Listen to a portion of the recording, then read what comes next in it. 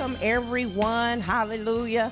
Welcome and happy new year to you. This is January the 7th, first Sunday of the new year. Amen. We are praising God and giving Him glory for a brand new year. Hallelujah. Now, we're just doing part two of what we talked about last Sunday. Remember, last Sunday we talked about it's time to cross over to the other side. So this Sunday, we just wanted to wrap that up and continue to talk about it's time to cross over to the other side. Let's take a listen. I will see you after the broadcast. Hallelujah. You got to be able to see past what you see. Hallelujah. Thank you, Lord God. You see them coming into the house of God. You see them working in ministry. You see them walking upright. You see them doing the things that are pleasing to God. You see them operating in the things that you sown into them when they were little babies. Hallelujah. You see now that once they are grown, they're going to begin, those, those seeds are going to begin to come alive in them once again in the name of Jesus. Hallelujah. Thank you, Lord God. See what you can't see and believe be, beyond what you've been able to believe. Hallelujah. Because it's happening. How many of y'all believe it's happening? Thank you, Lord. Woo, glory. Yes, Lord, it's happening, it's happening, it's happening. Praise God. Thank you, Lord God. Woo, yes, Lord. Thank you, Jesus. Come on, let's praise God on our way to our seats. Amen. Hallelujah. Bless the name of the Lord. God is good. Amen. He is good and very good. Happy New Year. First Sunday of the new year. Amen. Hallelujah. Experiencing the goodness of God. Hallelujah. He is such a good father. And he's faithful. New mercies every morning. Hallelujah. That is the goodness of God. Amen. We're in a new year. New opportunities. Thank you, Lord God. New beginnings. Praise God. Hallelujah. Where there are opportunities for new beginnings. Now, whether or not we, we, we start the new beginnings, that's going to be left up to us. Amen. Hallelujah. Now, last week we started off talking.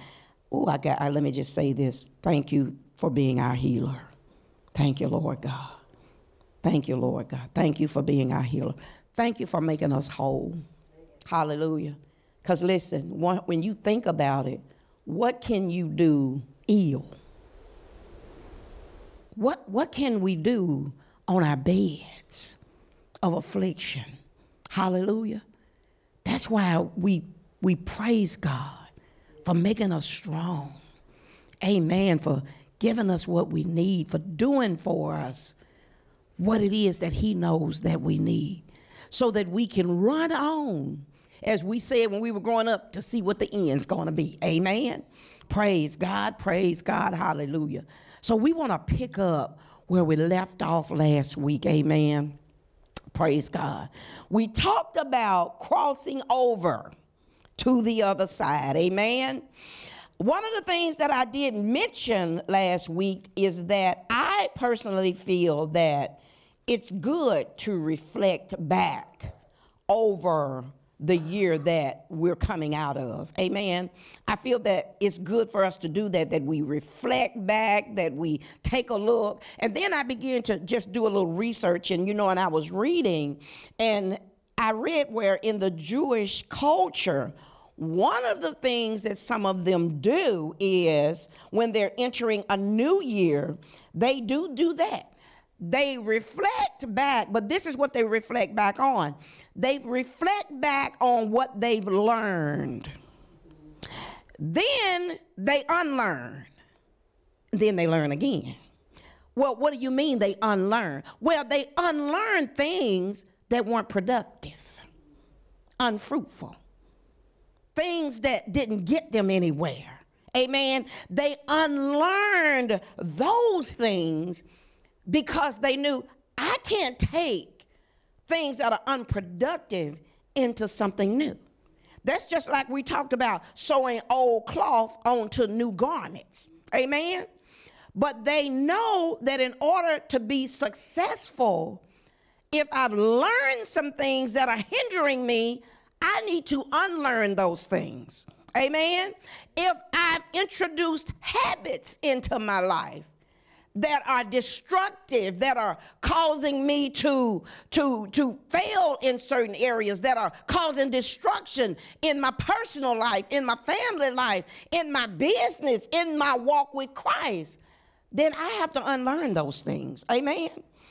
Our priorities have got to be, we say this all the time, but our priorities what?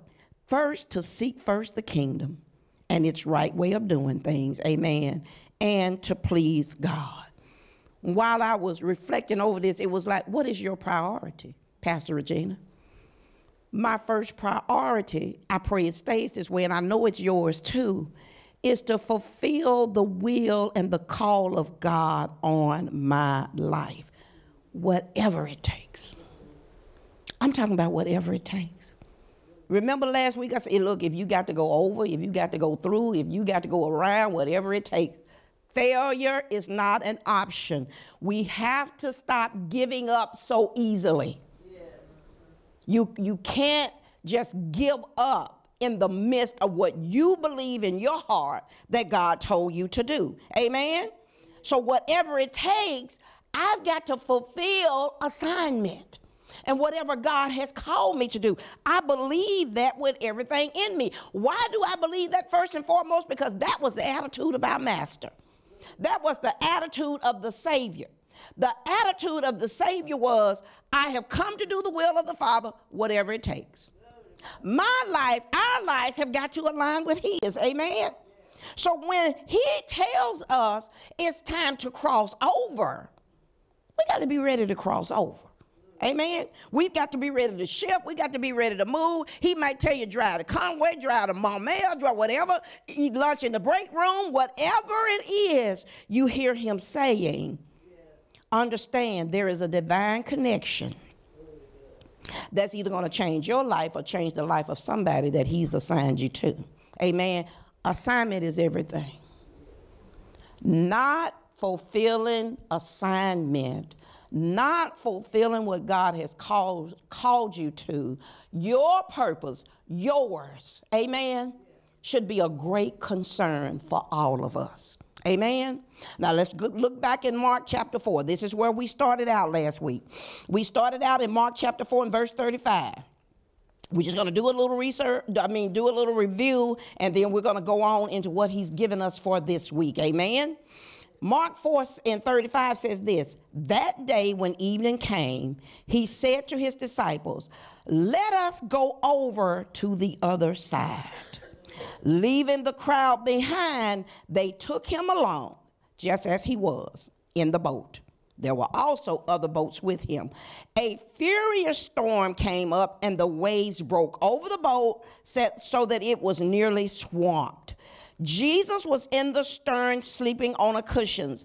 The disciples woke him and said to him, Teacher, don't you care that we're about to drown? He got up, he rebuked the wind, said to the waves, Quiet, be still. The wind died down, and there was completely calm. And he said to his disciples, Why are you so afraid? Do you still have no faith? Verse 41 says, They were terrified and asked each other, Who is this? I'd have been asking the same thing. Even the winds and waves obey him. Now remember, I said, whenever he says cross over, that's the time to move. Amen.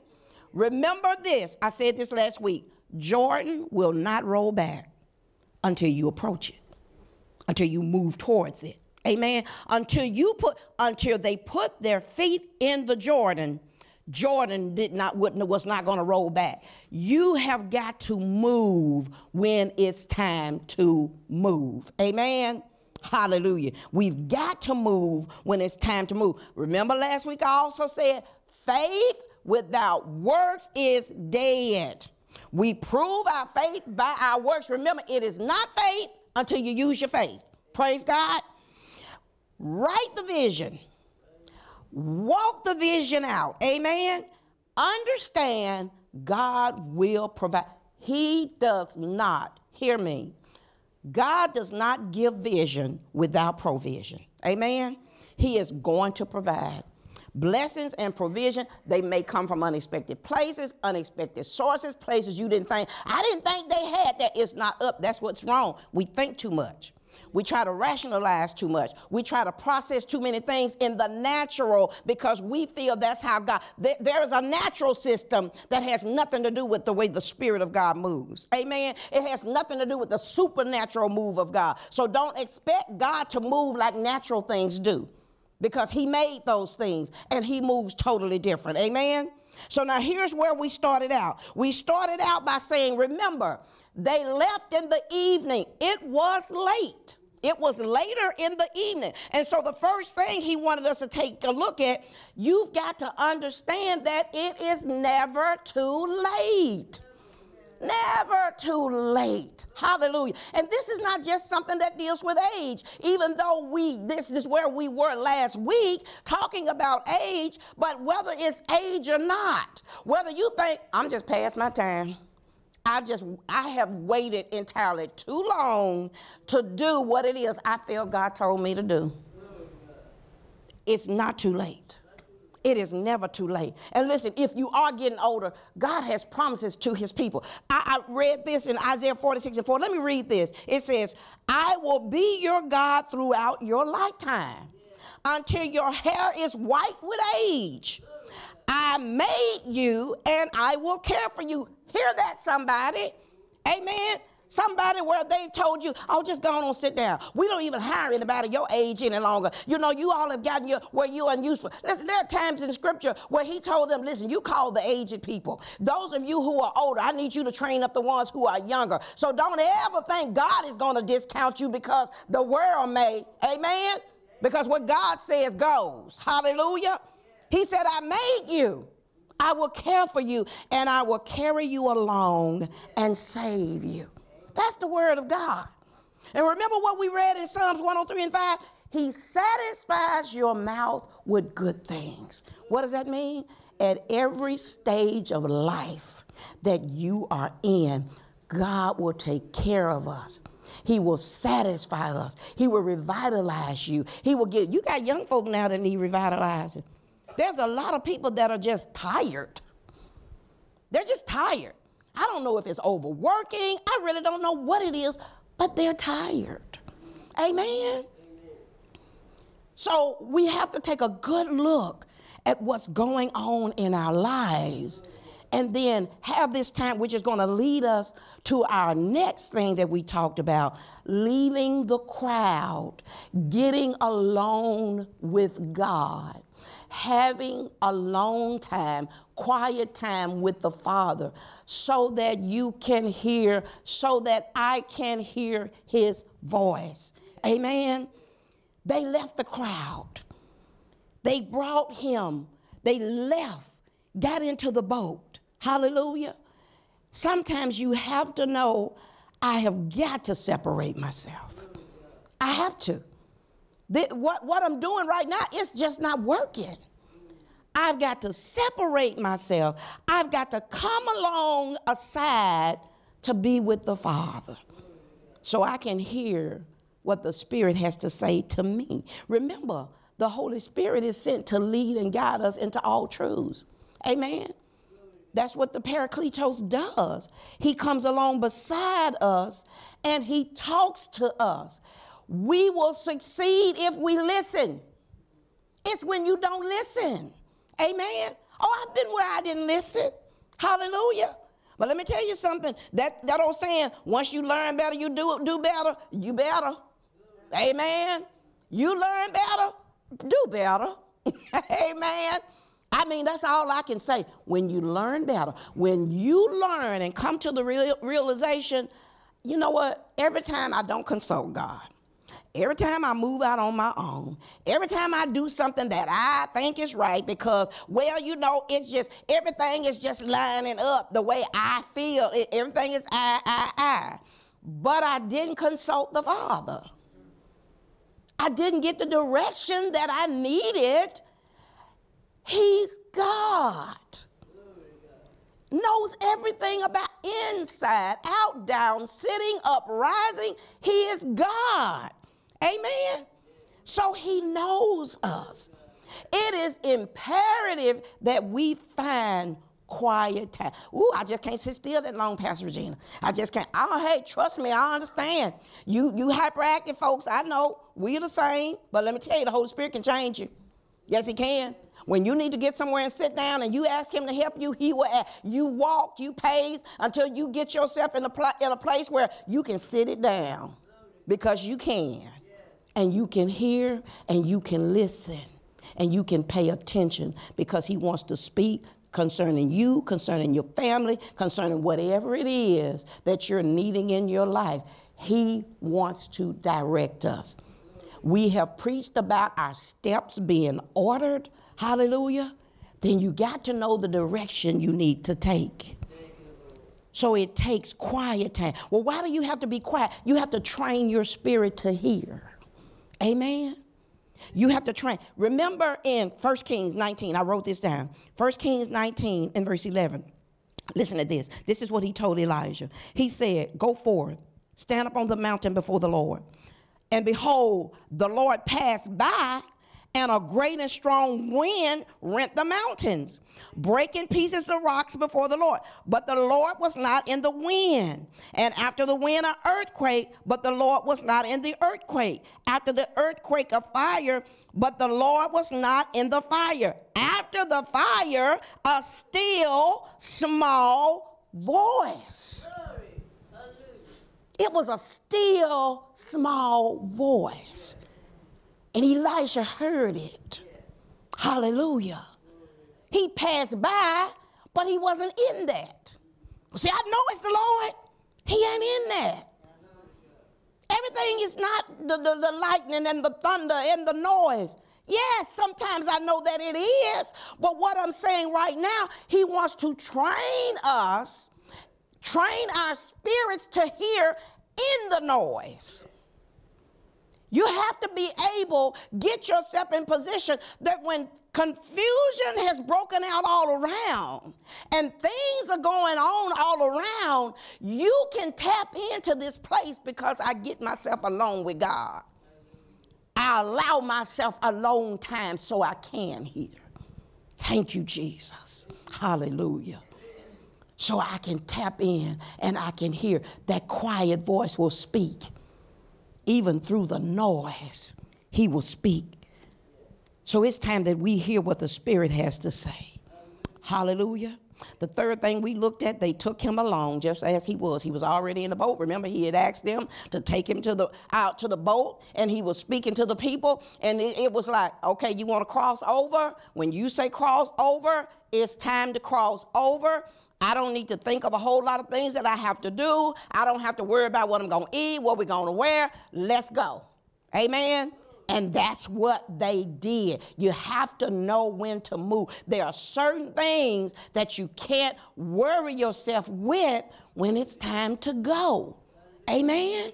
Because when it's time to go, there are things that God, remember, I told you, there are things that He aligns on the path and He prepares for us. Amen. And while they were going, what happened? a furious storm came up. Amen.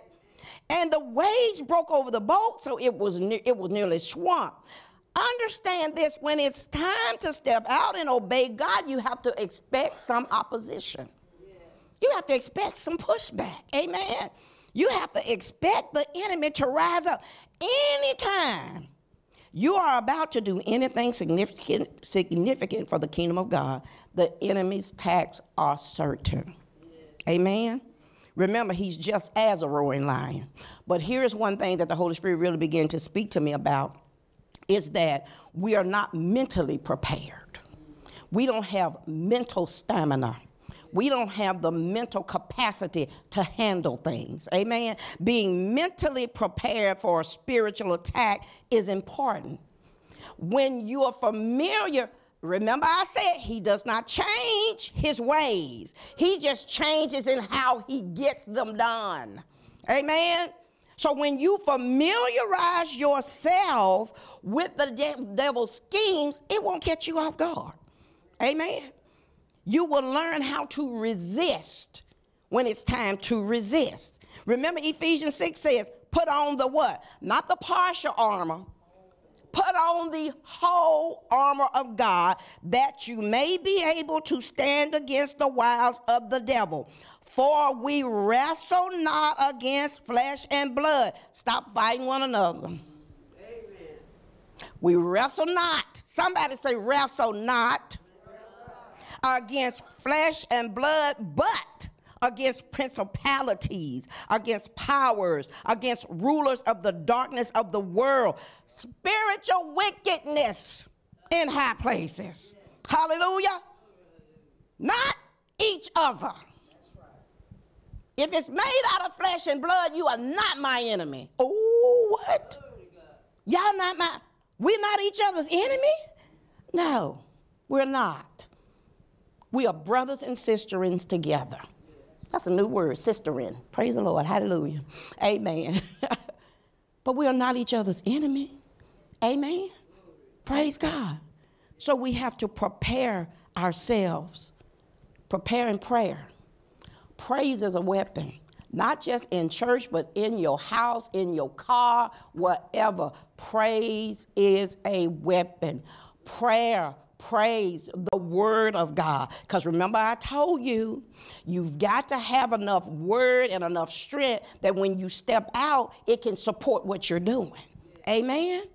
Because if you pull your gun, what I say you need to do? Shoot your shot. Okay? You don't go put, devil? Oh, you better shoot your shot, baby. Uh huh. Yeah. Shoot your shot, honey. Yeah. And that is in the word of God.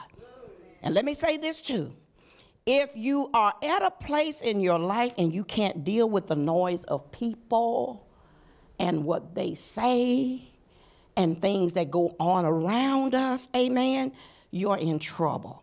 And I'm not trying to say people are always talking. Sometimes people are not saying. Uh, the enemy will magnify things. Trust me. Holy Spirit had to teach me that. Now you got people, they always gonna talk. That's just the nature of people. But if you can't handle it, let me tell you, if I was someone that could not handle words, you'll be up here preaching all out of your emotions, preaching all out of yourself. Well, if you don't like it, then hey, what is that? y'all find y'all another pastor. no. And I'm not even saying, I've not heard anything around here where I even need to say that. But I'm just saying, if you don't are not careful and learn some mental toughness, amen, and some strength within, you're going to be carried away with everything that you hear. Jesus had to, do, to deal with this. Because let me tell you, I just told you, people are going to be people. In Mark chapter 3, he goes into the synagogue, and there was a man there with a shriveled up hand. Watch this. Some of them were looking for a reason to accuse Jesus, so they watched him closely to see if he will heal on the Sabbath day. They're watching. You got to understand there are going to be people who watch and wait for others to fail. I've never understood that. I'm not going to ever understand that because I figure we on the same team. Amen. I'm talking about especially in the church because that's where a lot of fallout can happen. But I figure we on the same team, so we need to learn how to play together. Amen. There's so much going on right now. I'm not gonna call any names. I'm not gonna, cause it's just too much. Amen. It's just too much. You know, by the time I get news, sometimes it's probably be old, but they keep me up. Amen. It's like, you know what? This is just too much. Praise the Lord. But as I was watching this one story, let me, I read a comment from someone. This is what the comment said. The comment said, I've been waiting they did. I've been waiting on this to happen. I knew they were gonna fail. I said, you that's what you do with your time? You set up and you wait. You don't know how to celebrate people. You don't know how to, to, to, to even applaud when somebody this is ridiculous. I've been waiting. Come and tell you something. You looking for bad stuff to happen. You looking for bad in somebody. You gonna find it. And it doesn't have to be true. Let me put that disclaimer out there. It does not have to be true for somebody to believe it. They just been waiting. Because if you waiting, soon as the news come, you're not to verify it, validate it, or nothing. I know it's true. Amen. I- welcome back. Welcome back. Praise the Lord. I pray you were blessed by the message. Let's cross over to the other side. Amen. And as always, I just want to encourage you. I want to encourage you that when you hear the voice of the Lord, when you hear God's command, move. Amen. Move. Don't stay where you are. Failure is not an option. It's time to cross over. And as you will just see, as you, well, you just heard in the message, crossing over and doing what God has commanded us to do, yes, we're going to be blessed by it, but there's always someone else that He has assigned us to. Amen. Someone for us to connect with. That happened with the man in Mark chapter 5. Jesus was determined I'm going over to the other side, even if I just have to go for the one. The storm is not going to stop me. Nothing is going to get in my way. Amen. Because I came to do the will of my Father. Once he did that, he released the evangelist that was down on the inside of this man, amen. And he himself went on to spread the good news of Jesus Christ. Go tell somebody the good things that God has done for you, amen. Let that be your assignment to tell of the goodness that God has done in your life. I know He's done something for you because He has truly done something for me. I don't have time to name them all, amen, because they are many. Listen, thank you so much. Thank you so much for taking out your time to join us for this broadcast. We at Soul Gathering Ministries Community Church, we appreciate you. Continue to call us. There are those who've been asking about partnerships. Listen, all you have to do is give us a call at 501 773 1400. We'll give you all the information that you need. Also, there will be information that will come on right after the broadcast. We love you in the Lord. We will see you next week at the Master's feet. Be blessed.